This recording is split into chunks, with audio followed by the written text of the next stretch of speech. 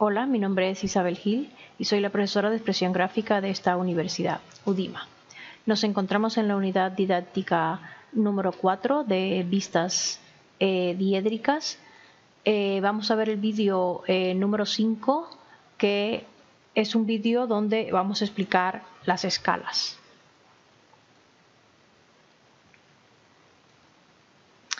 Pues bien, como habéis visto, el paso número 5 de representación de las vistas diédricas es eh, saber la escala a la cual tenemos que eh, hacer nuestro dibujo en el plano. Pues bien, eh, según vuestro libro de texto, la fórmula general para determinar la escala óptima es esta que tenemos aquí. tenemos primeramente unos espacios para uniformidad, que normalmente marcamos 120, pero no tiene por qué ser así, o sea, son espacios eh, arbitrarios, siempre y cuando tengamos espacios para eh, poner eh, las cotas, que el espacio entre las vistas sea el mismo para que sea el dibujo uniforme y el espacio entre el borde del cajetín y las vistas pues también sea el mismo, sobre todo por la izquierda y por la parte superior. A partir de aquí eh, podemos nosotros eh, saber o determinar la escala óptima siguiendo lo que es eh, la fórmula. Entonces, fijarse además que en esta fórmula, con este ejemplo, intervienen tres vistas.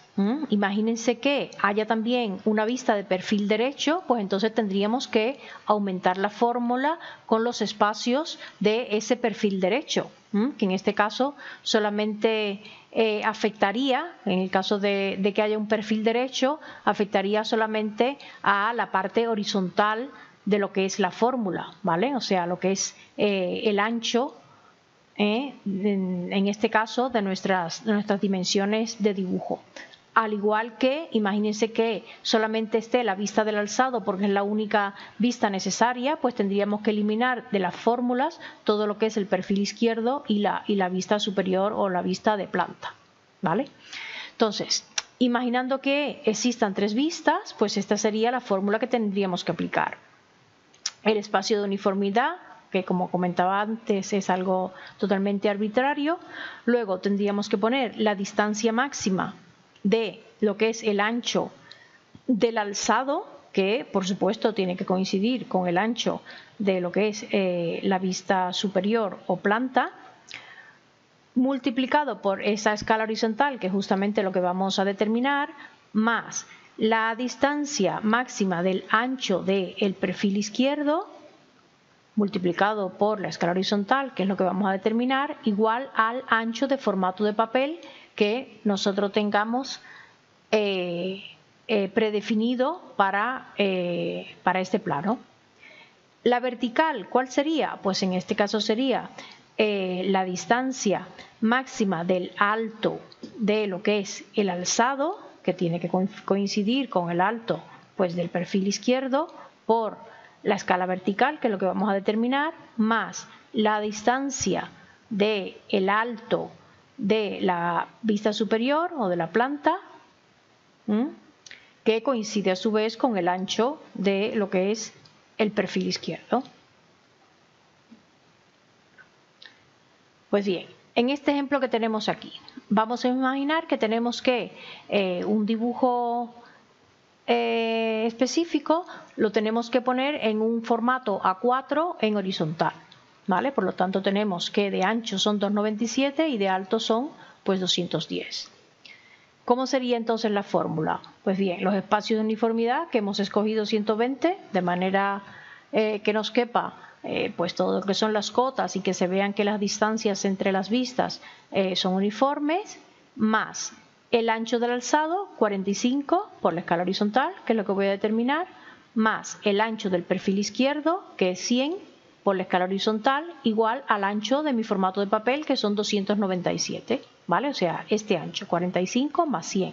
El 45 coincide con el ancho de la planta y el 100 del perfil izquierdo tiene que coincidir con el alto de la planta, ¿vale? Para que las vistas sean correctas. En el vertical, pues tenemos 50 del alto del alzado por la escala vertical, que es lo que voy a determinar, más 100 por el alto de la planta, por la escala vertical, que es lo que voy a determinar, igual a 210, que es el ancho total de mi papel, el alto total, perdón, de mi papel. Entonces, la escala vertical me ha dado como resultado 1,22, la escala horizontal me ha dado como resultado 0,6, por lo tanto, eh, mi escala óptima sería eh, la de 0,6, que es donde eh, tanto de ancho como por alto puedo representar en ese espacio de papel mi dibujo. Ahora, esa escala, pues yo la tengo que llevar a lo que es una escala normalizada. ¿Cuál es la escala normalizada que tenemos que más se aproxima? Pues entonces es la de 0,5. Por lo tanto, este dibujo se tendría que representar en una escala de reducción 1, Pues bien, con esto terminamos este vídeo específico para escalas. Nos vemos en el próximo vídeo de vistas diédricas de esta unidad para resolver algunos ejercicios.